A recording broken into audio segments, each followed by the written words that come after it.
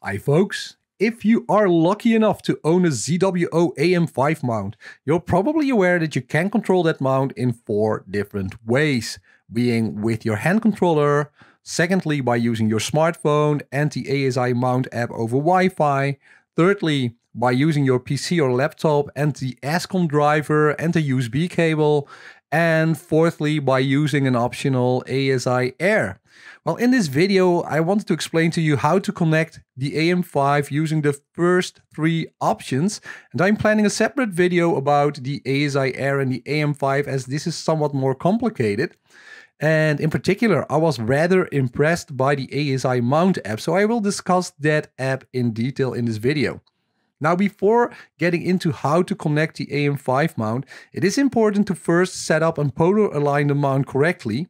And if you're unsure how to do that, you can check ZWO's channel, where you can find videos that show you how to set up the AM5. Now, if you want me to make a separate video about this, please let me know in the video description below and I will make a separate video about setting up the AM5. So the first and arguably also the easiest way to control your AM5 is with the joystick-like hand controller that comes with the mount. After you've set up and polar aligned the mount, simply put the plug of the hand controller in the hand controller port of the AM5 and you're basically done. Now this controller has four functions. First of all, you see that there is a directional joystick and you can use that joystick to slew the telescope on the mount. So pressing the joystick up, down or left, right will change the position of your telescope and your telescope mount in the direction you push the joystick. Now you can also press the joystick down to switch between high and low slew speeds. Now for example, it might be useful to first roughly align your mount with an object you want to observe using a high speed and then precisely align your mount with that object using a slow speed option. Now below the joystick, you'll find two additional buttons on the hand controller. The T button stands for tracking and it can be used to switch the sidereal tracking of the mount on and off.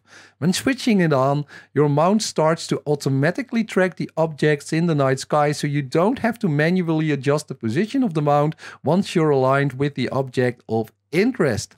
The second button can be used to cancel the tracking and return the mount to its home position. A short press will cancel the tracking and go to functions, while a long press returns the telescope to its home position, pointed towards the celestial pole. Although most of you are probably looking to wirelessly control the mount, the option of the hand controller may still be useful to visually align your mount with solar system objects like the moon or one of the planets in the night sky without the need to externally connect the mount over Wi-Fi or USB to your smartphone or computer. The second option to control your AM5 mount is by using the ASI Mount app in your Play Store or App Store. Just download the ASI Mount app to your smartphone or tablet.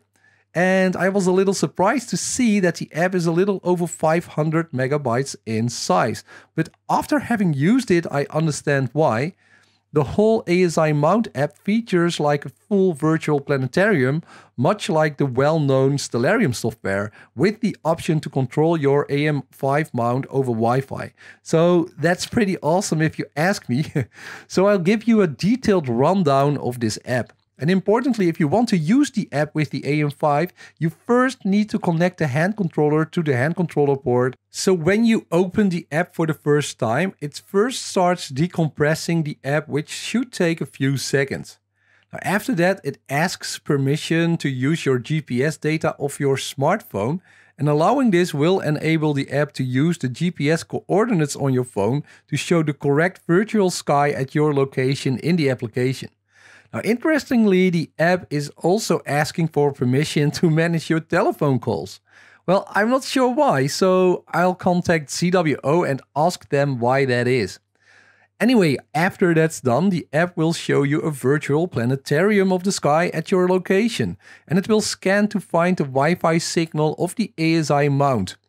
Now the mount needs to be powered on and the hand controller needs to be connected to the mount as I said before to receive the Wi-Fi signal of the mount on your smartphone or tablet.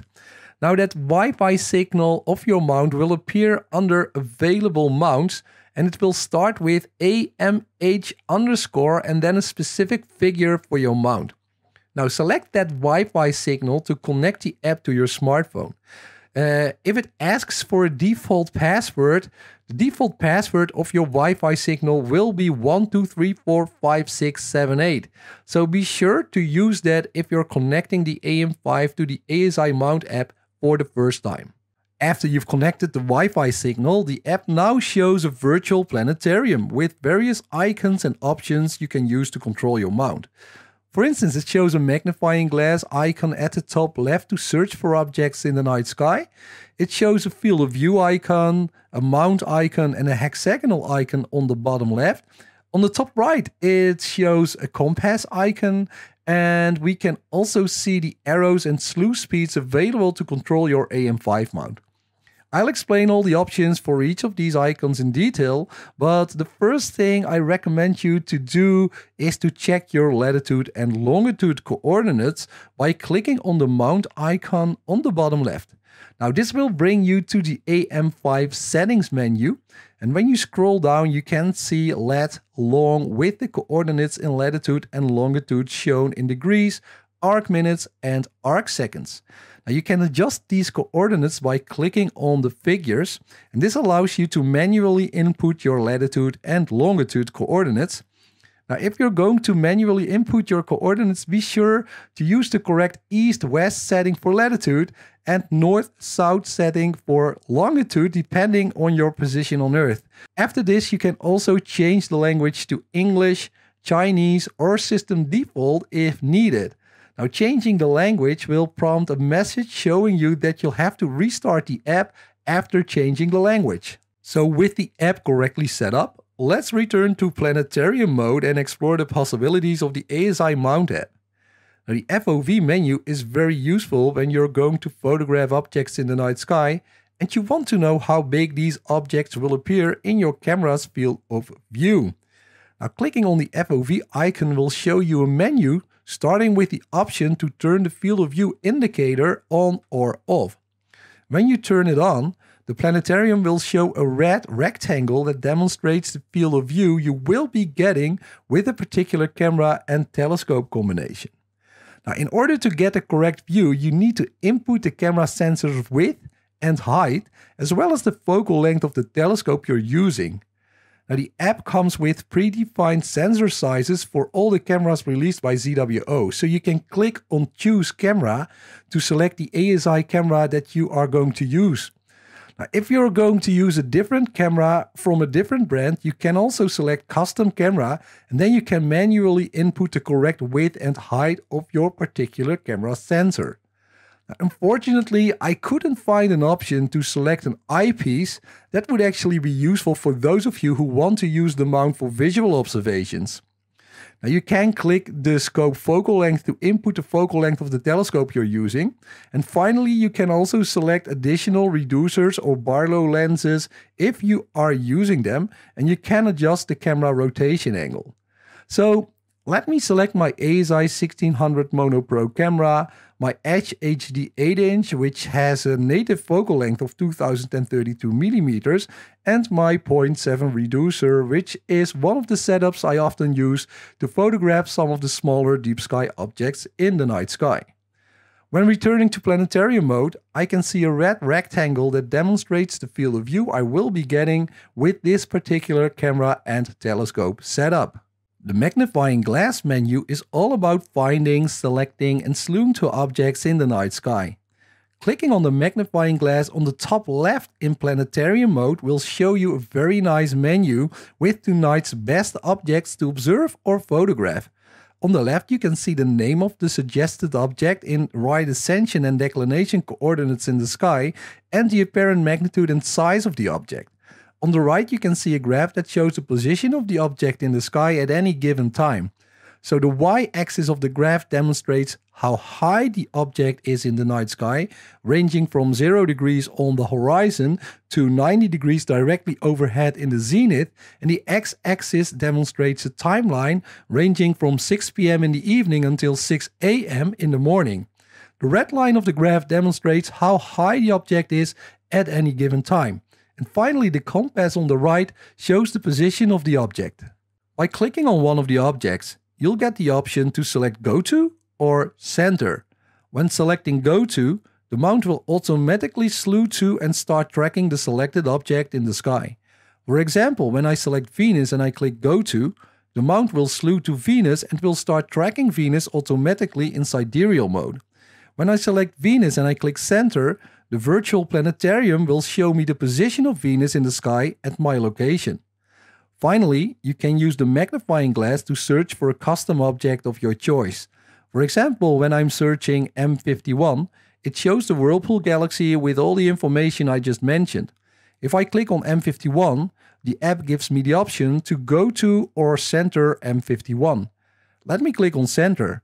Now the app will show me where M51 is in the night sky and the red rectangle will show me how big this object will be when I want to photograph it using my ASI 1600 Mono Pro camera and my Celestron Edge HD 8-inch telescope I've selected in the field of view menu. In planetarium mode, I can also click on Go To, and that will slew the AM5 mount to M51 in the sky, and it will automatically start tracking that object. The blue rectangle shows the current position of the telescope in the sky. Let's get back to the AM5 setting menu on the bottom left to see what kinds of options we have. When the mount is fully connected, it shows the position of the mount in right ascension and declination. Again, it is important that your mount is correctly aligned with the celestial pole, so be sure to do that before using the mount. We already discussed the option to adjust your latitude and longitude position in lat long by adjusting these figures, and the mount also shows the date and time which are in sync with your smartphone or tablet. You can initiate tracking of the night sky by clicking on different tracking options. The sidereal mode can be used for almost all objects in the night sky, with the exception of the moon and the sun, which have a specific lunar and solar tracking speed option. And when clicking on each of these options, the mount will start tracking the objects in the sky at the selected speed. You can click on Go Home to slew the mount back into the home position it was in after you finished your polar alignment.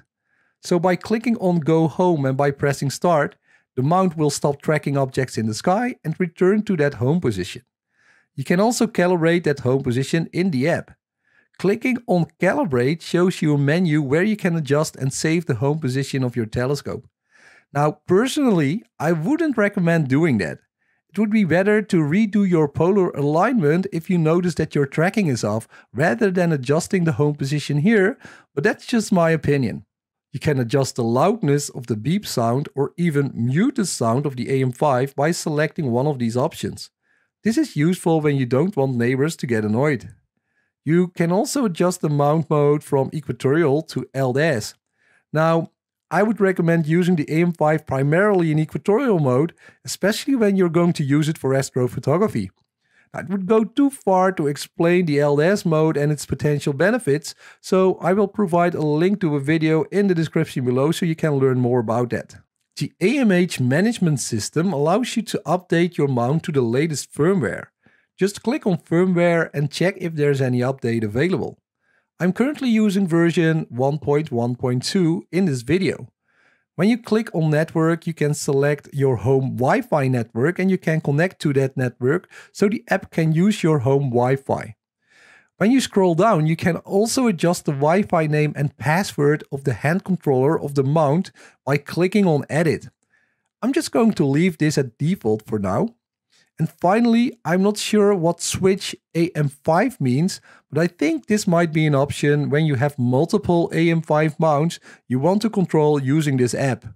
As I have only one AM5 mount, clicking on this option will generate a message that there are no other mounts available. The hexagonal menu on the bottom left allows you to adjust the appearance of the virtual planetarium.